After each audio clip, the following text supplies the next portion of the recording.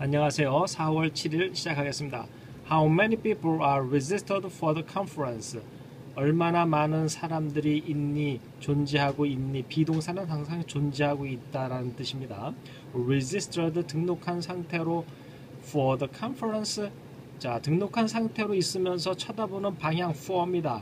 for 어, the conference 어, 더는 정관사로서요. 어, 영어로 아티클인데 찾아보시면 어, 문, 어, 물건이란 뜻입니다. 그래서 물건 앞에 일단 쓰여지고요. 어, 이 더는 나도 알고 있는 너도 알고 있다는 그 물건을 한정할 때 우리가 더를 쓸수 있습니다. 그래서 나도 알고 너도 알고 있는 물건인 컨퍼런스 회의야. 175 people have signed up. 175명의 사람들이 have 가지고 있어 어, signed 한 상태를 사인한 상태를 가지고 있다. up 여기서 up은요 위로라는 뜻도 있지만요 이렇게 위까지 가득 찬 어, 그런 상태를 나타낼 때 up을 쓸 수 있습니다. 그러니까 어, 완전히 뭐 또 최고의 이런 뜻을 가질 때 우리가 up을 쓸 수 있습니다. 어, That's more than I thought. That's that that is죠. 그것이 is, 있네, that's 뭐와 더 많은 상태로 than 비교하는 것.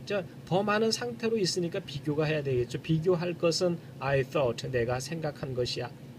자 여기까지 한번 어, 해보겠습니다. 오늘의 키 센텐스입니다.